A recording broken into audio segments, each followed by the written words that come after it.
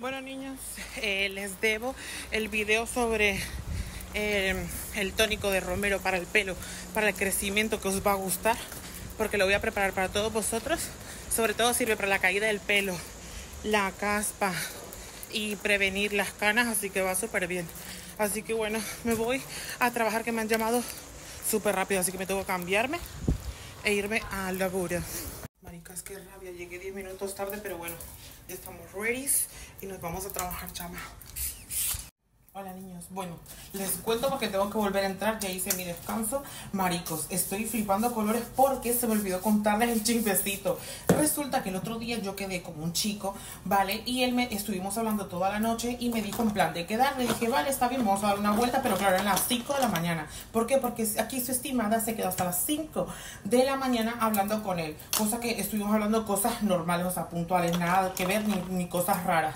Bueno, pues la cuestión es que resulta que cuando quedamos, maricas, el man vino con su perro, el perro se me tiró encima y me manchó. Dije, por eso no tengo perros, quiero un puto gato. Bueno, la cuestión, que viene él y me dijo, ay, es que yo nunca había quedado con una chica como tú, tal, no sé qué, no sé cuántas. Y yo, maricón, me la suda. Solo te quiero conocer porque me has caído súper bien, de chill y listo. Bueno, pues el tío cogió, se trajo un vino, se puso borracho, literal, o sea, me quedé flipando. Me dijo, tú bebes, y le digo, no, no debo alcohol, qué puto asco. Bueno, yo la verdad ya me empecé a sentir incómoda. Bueno, la cuestión que vengo yo, ¿vale? Y le, dije, oye, mira que yo me tengo que ir, ya te conocí, me reí un rato, me contaste tu vida, eres una persona muy negativa, eh, que todo te va mal en tu vida y bueno, ¿qué es lo que le vamos a hacer? Estoy atrayendo ese tipo de personas, cosas que no sé qué ritual voy a hacer para alejarme de gente tan negativa y con problemas porque yo no soy psicóloga, soy bruja. Bueno, la cuestión, para resumirles esta historia, niños, me dijo que me sacara las tetas, ¿vale? Y que si se las podía enseñar, porque me quería chupar las tetas en la calle y eh, ¿cómo se llama? Y que si él me enseñaba la polla, por si a mí me gustaba. Cuando él tiene novia, vive con ella y aparte está haciendo de padrastro. Bueno, así que nada, salí traumada, eh, me fui.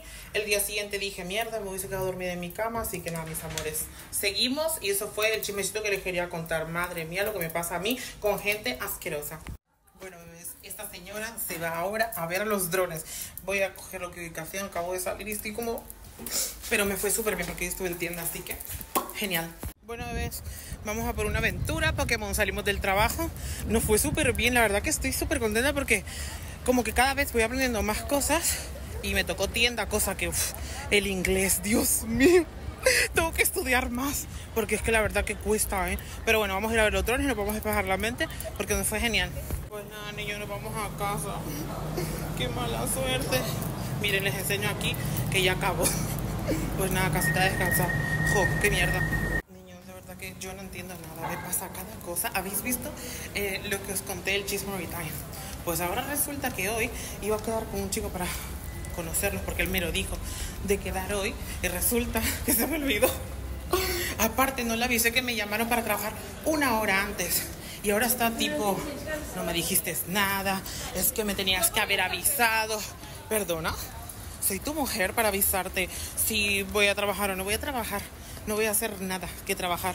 La gente es un poco tóxica y ahí es cuando se ven los reflex de cuando conoces a una persona y ya es tóxico, tóxico, perdón, el primer día y no has quedado. O sea que yo flipo colores estoy flipando colores. Ustedes lean esto, leanlo. Están flipando colores porque yo también estoy flipando colores.